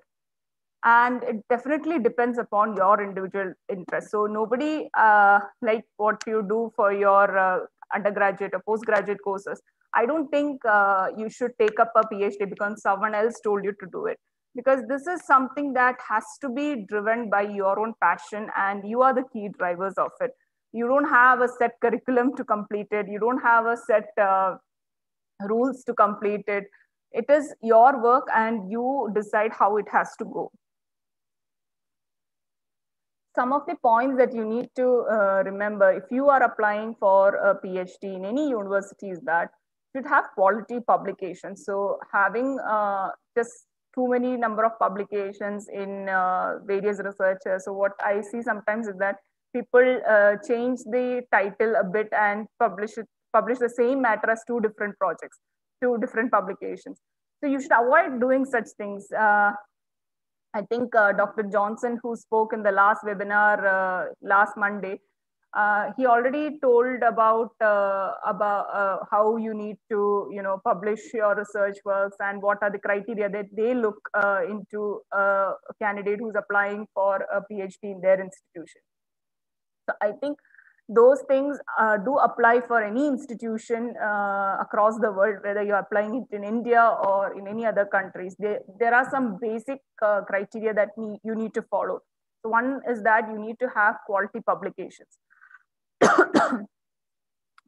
in addition to that, uh, again, ensure that the topic that you have selected is novel. Especially for a PhD, this is very, very important because you are doing something that is novel so you need to make sure that this has not been done by anybody else in this uh, field. So that is very important. So you can do that by uh, searching for articles that has been come out uh, in the similar terms. There are some uh, theses uh, databases that are available online. Go check in that, type your research uh, question or your you know tentative title and see if there are other published thesis works on this. So these are some preparatory steps that you need to do. The next is identifying a well accredited university, whether it is in India or it is abroad. You don't want to spend about uh, two, three years of your life and then halfway down the line, you get to know that the university has lost its accreditation. So make sure that you uh, do PhD in a well recognized university. And uh, you also need to read and understand what the university uh, gives in their guidelines for applying for a PhD. Because each university will have a specific criteria uh, regarding uh, how you need to apply, what are the basic qualifications that you need to have, etc. So make sure that you uh, read and understand them and you comply to them uh, when you apply for the uh, PhD. The next, and I think it is a very key step, is identifying the guide and co-guide. So uh, when you identify your supervisors, make sure that they are people who have a sound knowledge and experience in your field of interest. So definitely they are not going to uh, tell you what to do and they're not going to you know come behind you and say like you need to do this within this time nobody is going to do that because this is your work and you decide when to do it what to do it but you need to have uh, uh, supervisors who to whom you can you know approach them to uh, ask any questions that you have. And if you feel you're getting stuck they can guide you to take matters forward. So what you need to understand here is that nobody is going to come behind you and say what you need to do. You decide how you have to do it how much time you want to take etc the the university would give a broad timeline say like 3 to 6 years is the general duration of a phd but how you want to divide this 3 years or how you want to do the 6 years is how you uh, you know uh, decide so again selecting whether you want to do a part time or a full time phd so you can choose a part-time PhD if you want to uh, continue your uh, PhD along with uh, another uh, full-time job that you're doing.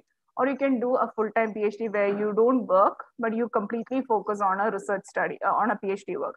That again depends upon your individual interest. The next is looking for funding opportunities. I think that is very important because uh, especially when you are looking for a PhD uh, abroad you you need to have uh, funding for uh, covering your tuition fees your expenditures there because uh, it is generally expensive there as many of you might know and even if you are doing a phd in india it, the cost is not going to be very less as well because uh, depending on the project that you choose in addition to your tuition fee you'll also have some individual uh, cost associated with the project. So if you're doing some lab based project you would need uh, some uh, funding for you know the instruments or the reagents that you're using. So depending on the project that you choose you would have some uh, you know individual costing associated with it it's always good to look for funding opportunities. There are a lot of funding agencies that uh, that uh, call for uh, funding opportunities. And when you apply to these funding agencies make sure that you read what they are calling for because the same funding agency can call for different areas of research. So sometimes they would call for antibiotic stewardship sometimes they would call for something that is related to nephrology or neurology so you don't want to uh, send your uh, proposal to the wrong funding agency and get rejected out front itself so these are some points that you, you need to remember if you are planning to do a PhD after a PharmD program. So the next is uh, what would be the, your opportunities once you complete a PhD after a PharmD? So definitely you can work in academic institutions. I believe uh, many academic institutions in Kerala itself, they demand a PhD uh, as a qualification if you need to work in a, in a uh, pharmacy college. So definitely you have opportunities there. The next is work in research projects. Uh, so I have a colleague uh, from South Africa who's who has completed her PhD and is working as a pharmacist in our project. So you can work in these kind of uh, international projects even after you complete your farm uh, your PhD degree. The next is you can uh, initiate research activities on your own. You can go on to apply for postdoctoral fellowships and you can start writing research proposals to initiate research activities in your hospital. So these are some broad opportunities that you have after you complete your PhD. So just talking very briefly about the PhD that I do. Uh, so in my PhD, what I'm trying to uh, see is how can the role of clinical pharmacist in antimicrobial stewardship can be improved in Kerala by learning experiences from uh, South Africa and United Kingdom. So uh, South Africa is a, is also a low middle income country like India, but there the uh, stewardship program was uh, initiated much before it came into place in India. While in UK, uh, it is a high income country where uh, the stewardship program was initiated many years back and the role of pharmacist in a stewardship program is also well established.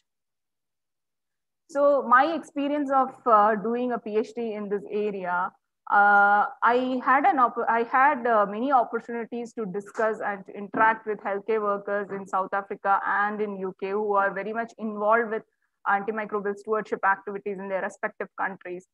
And uh, i could learn a lot from them because uh, in each setting uh, although you say the broad aim of stewardship is this in each country it differs. And the role of pharmacist also differs in each country. Some countries it is very well established. Some places it is not so well established.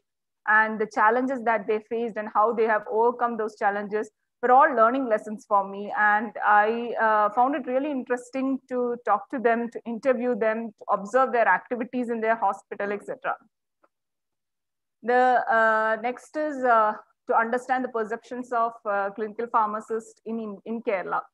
So I also did a few interviews of uh, clinical pharmacists within Kerala to uh, understand what do they perceive of their uh, role in a stewardship program and what do they think are their challenges and the skills that they gain and what is the message that they have for other budding pharmacists. In addition to interviewing clinical pharmacists, I also interviewed uh, various doctors who are associated with the stewardship program in Kerala and to understand what is their understanding about uh, the clinical pharmacist role and what do they expect from a clinical pharmacist uh, when they are employed to a stewardship program. The next is exploring potential collaboration. So like I said, uh, for a PhD, it is you who decide how you need to take things forward. So you need to explore. Uh, I I had to explore uh, what uh, collaborations that I could do, whom to collaborate with, uh, who uh, so to look for people, to look for opportunities for collaborations, etc.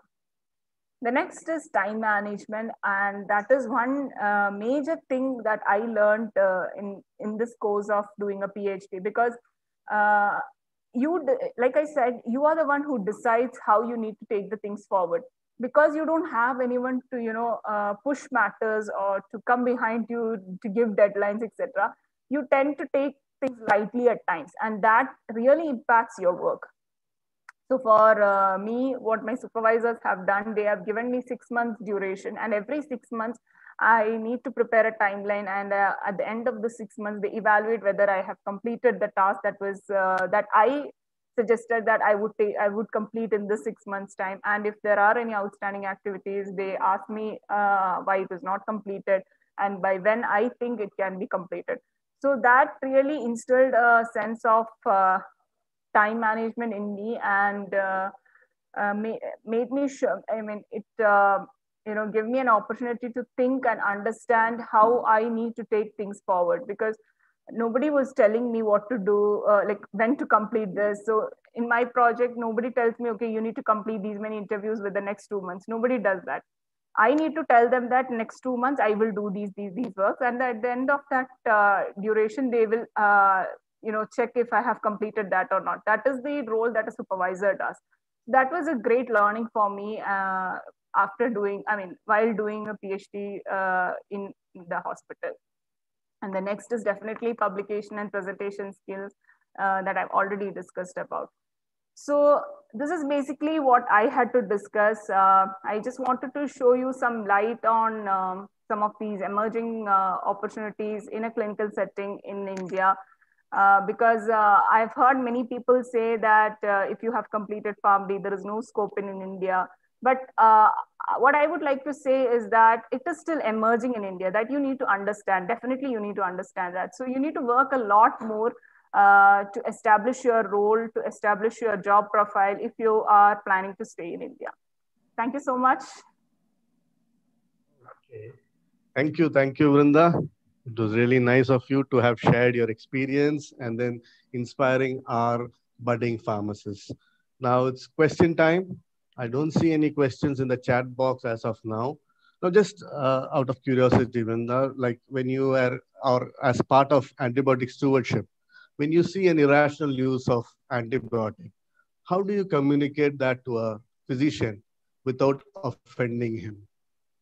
I think that this question uh, I do get a lot from uh, students and interns as well. How do you talk? How do you communicate your recommendation? Or how do you talk to a doctor and tell that you know it was inappropriate and we also faced a lot of difficulties initially because uh, the, the, doctors were also new to this concept and outright they would say that i'm not going to listen to you who are you to come and change my prescribing pattern my patients are safe etc what i would say is that uh, it is always better to not implement or to not enforce that recommendation on the doctor. You can you can go and suggest to them that uh, these are the recommendation. Go with some guidelines go with some uh, you know uh, uh, research publications which show that your uh, recommendation is true.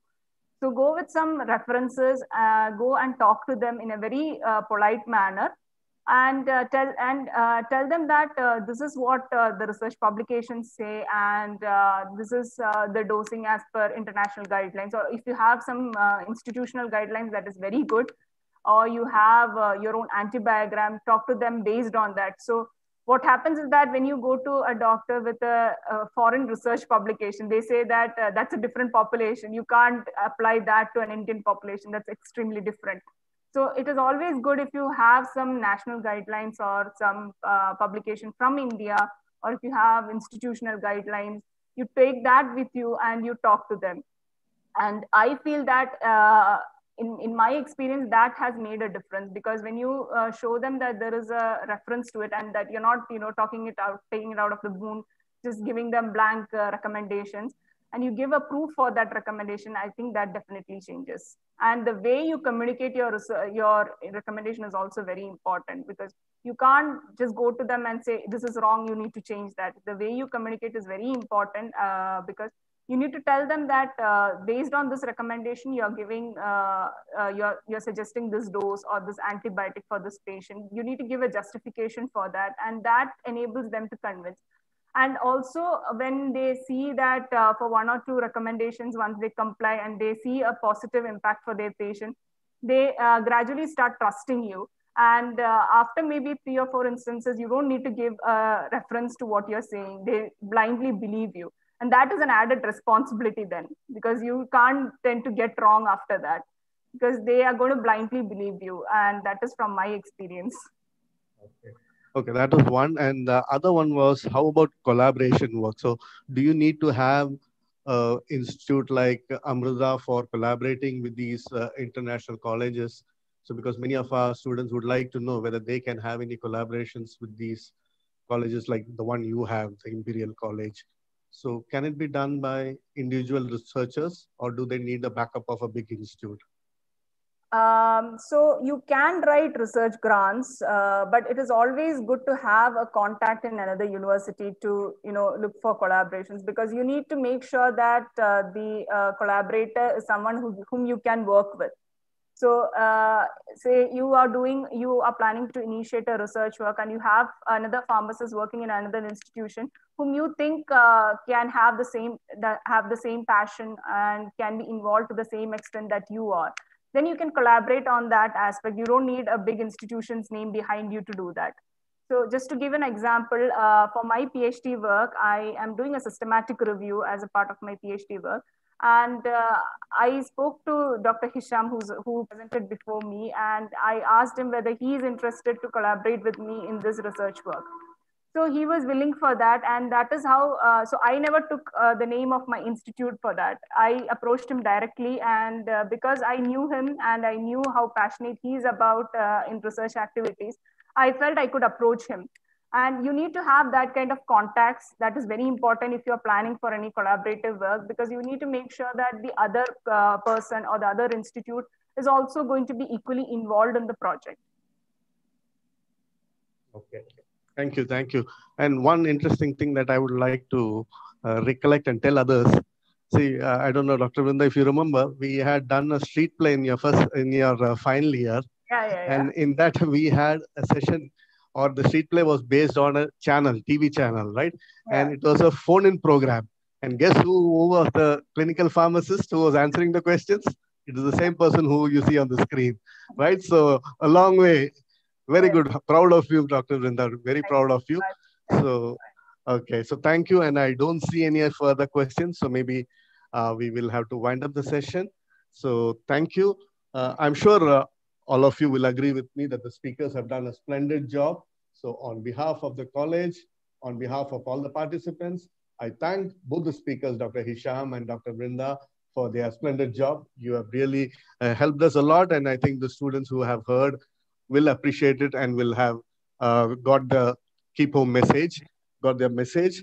And then uh, I would also like to thank our uh, beloved director, Dr. Betty Kala Sister, and of course our principal, Dr. Sister Daisy PA for their support and guidance. And then of course, uh, Sibi sir, who's been running around organizing the things. So Sibi sir, thank you very much. And then special thanks to our technology leads, that is Bobby sir and Jipnomon sir. Thank you very much for getting us all connected. And then of course, uh, thanks to all our teaching and non-teaching staff for their contributions. And then one very important people, you audience, you were very lovely. We really appreciate you for joining us. And we do hope that you have benefited from listening to the talks that have been there. And just to remind you that we still have talks in the pipeline. So please do join us. Then, Jennifer, thank you very much. You have, as usual, done a splendid job. And I, I think I've done a reasonably good job, right? So once again, thank you all. Do join us for the next part of the webinar series. It's bye for the time being. See you soon. This is Naveen Kumar Panikar signing off from St. Joseph College of Pharmacy. God bless. Thank you all. Thank you.